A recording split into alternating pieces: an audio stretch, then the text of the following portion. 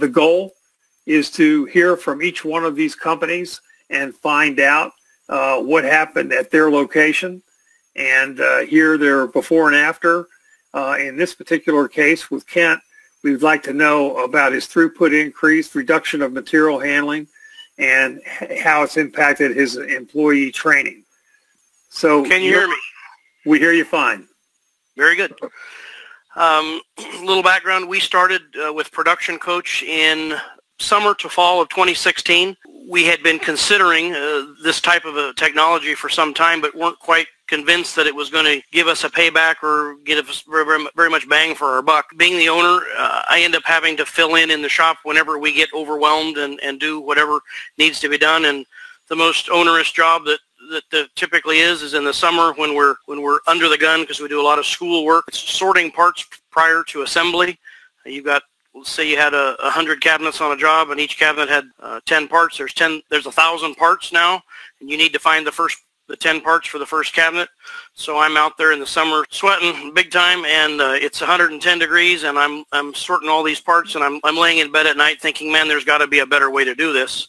And I remembered the demonstration that had been given to me about production coach and, and recognized that while sorting parts wasn't really what they were about, uh, the technology was the same. And so I approached them and said, hey, c- could you do this? And they said, sure, we could do that. And it took them probably about two months to uh, of testing back and forth between us to get it nailed down. And, and so the before production coach and the after production coach are, are dramatically different. Before production coach, we sort parts. It was an absolute huge hassle. It took a lot of time. It took a fair amount of skill. Uh, it was a drag. It was no fun to do. Uh, it was just a, a giant mess.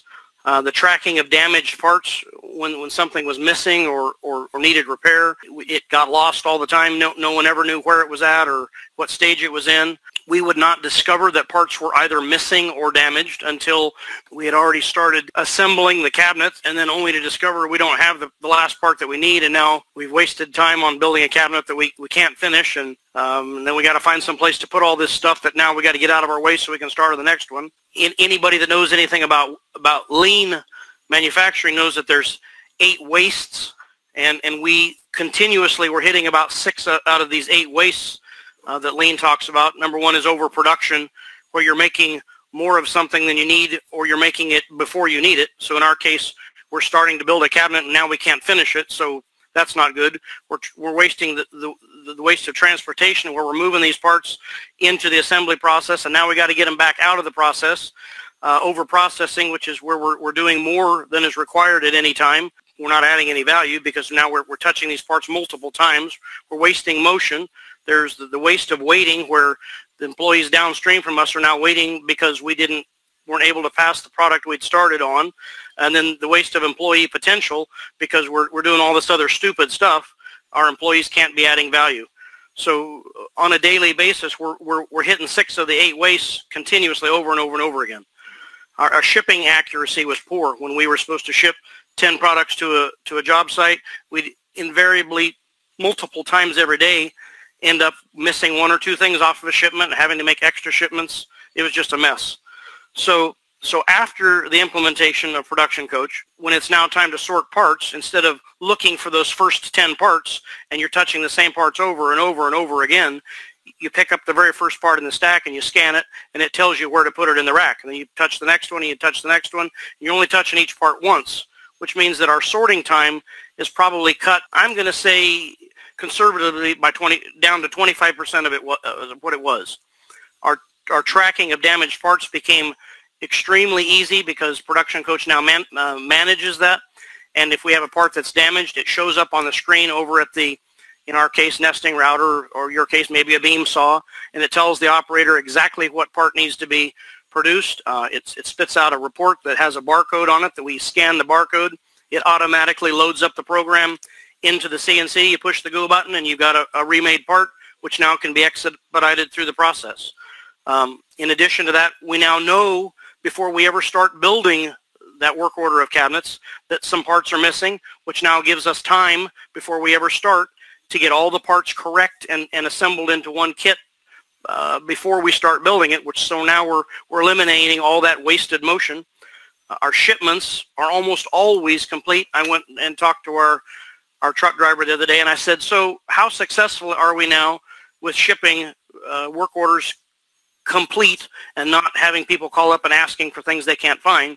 He said, "Well, they still ask for things that they can't find, but we're able to prove to them that they signed for it and that it was received." And he said, in the last four to five months, we've only had one time where we actually did not ship something that we thought we'd ship because we put the wrong part product label on the wrong on the wrong product. So it's it's solved a tremendous number of problems for us. We've had a, I know this is hard to believe, but a 300% increase in throughput capacity in our assembly department. We're utilizing the same number of people, we're utilizing the same amount of square footage, and we're utilizing the same equipment, but we're able to assemble three times as many cabinets in a day as we could prior. Uh, our material handling has been reduced tremendously because we're touching each part one time instead of touching that same stack of parts over and over and over again. Um, and we all know that every time we touch a part and move it, we're, we're increasing the risk of damage. So, so our damage has gone down. Um, it's an extremely easy program to implement and to train people how to use. Uh, it goes very quickly. We're able to take some new employee who comes in off the street and within five minutes have them up to to speed sorting parts and, and they don't need any special training. Before it would take conservatively weeks to get them good at, at, knowing what all these different parts were and what they were looking and, where, and it, all that's just gone. Overall, it's it's sped up our throughput of work through our through our facility. Uh, it's increased our accuracy of delivery, uh, and it's made life just better. I had two of my employees, both independently of each other and unprompted, come into my office and say, you know, uh, before we got production coach, we, we thought work was okay. But now that we have production coach, if we had to go back to doing it the old way, we would quit and go flip hamburgers. It makes that big a difference. Okay. Well, Kent, thanks for your input. Uh, all uh, interesting comments. And, and, and Kent, so how long did you say in terms of time, days to get this uh, installed and running? So prior to the in, to the installer or the installation technician showing up, we had pre-installed all of the computers and pre-installed, downloaded the software and hooked up the barcode scanner. So we did the preparation work and within a half a day of the technician being here, we were we were functioning and using it and he was only here for one day and we were we were done and and using it. So we had a one day integration. Okay. Thanks thanks for your report, Kent.